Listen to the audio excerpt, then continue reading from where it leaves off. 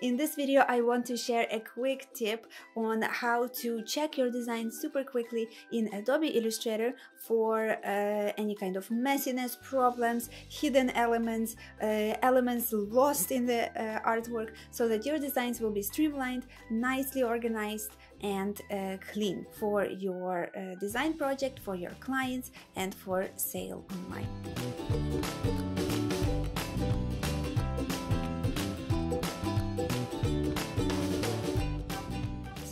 When we are working on a vector repeat pattern design as I often do or any kinds of vector illustration the problem sometimes is that we are uh, looking at the colorful view of our illustration. However when you work in vector you know that there are technical specific things you need how you need to organize your files and sometimes our files might look good but for manufacturing purposes for the file size perspective they might be too messy, making it too, uh, making Illustrator too slow. That's often a problem. I have a way how to switch uh, your uh, view on Adobe Illustrator so that you can find and spot those problems super quick.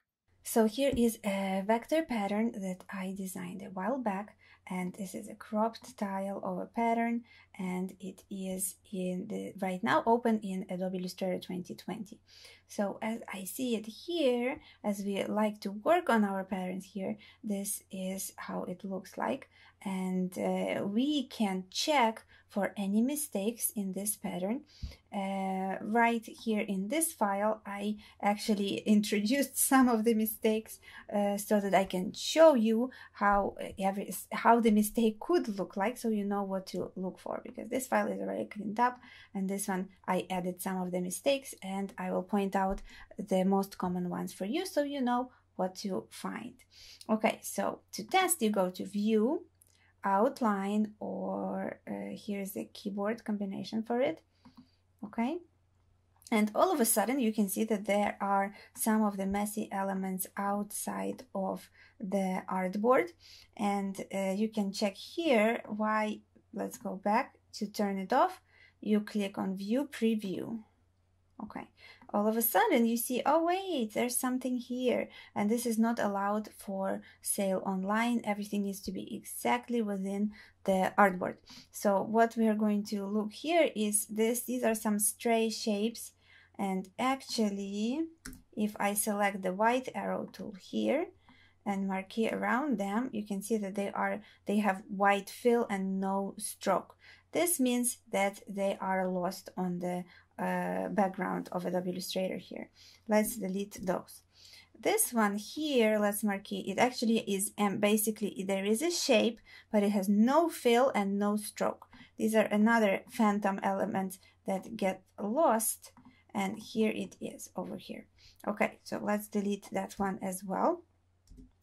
Let's zoom out and now let's see if we can spot something inside this pattern. Uh, let's say uh, we go to view outline and in here you can see that these two are already on the sides are deleted and I'm I'm looking at this particular this particular branch over here. Let's go view preview.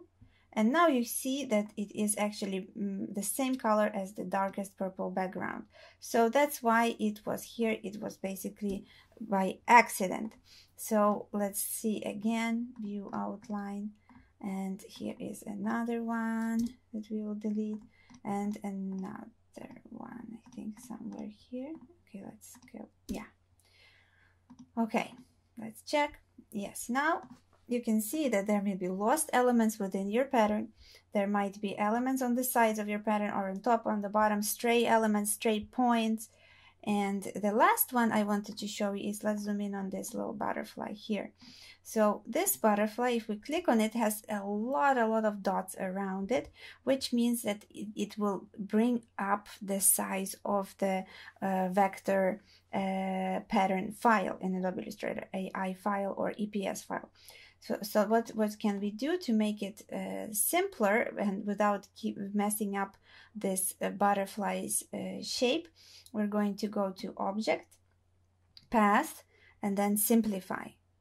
And this will show us how much simpler we want to see of course it will start changing a little bit once we uh, move these things around but still a lot of points already were saved let's undo so you can see. Here are the, all the red dots the red points and if we go edit redo simplify here how many dots we saved and you need to play with your elements and see. So this is another thing that you can see on the outline especially it's easier to see. If you go command a and select everything you will see all the dots if they are a little bit too messy or not if they need to clean up uh, or not okay and now we zoom out and you can go to view preview to switch back to the preview and toggle on and off here under view to see uh, any mistakes and any stray elements as I just showed you.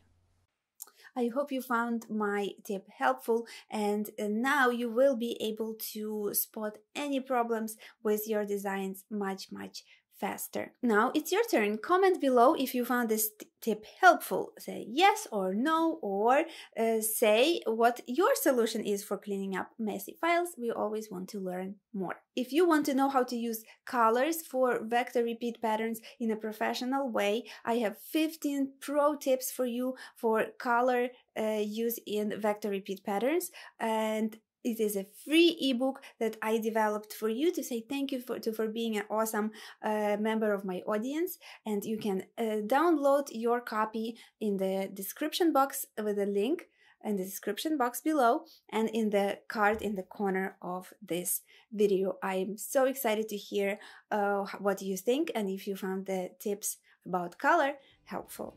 Please like this video if you liked it. It really helps my YouTube channel grow and I really, really appreciate it.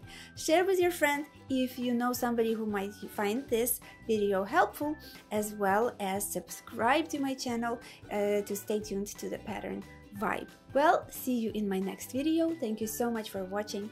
Grow, love, and create. Bye!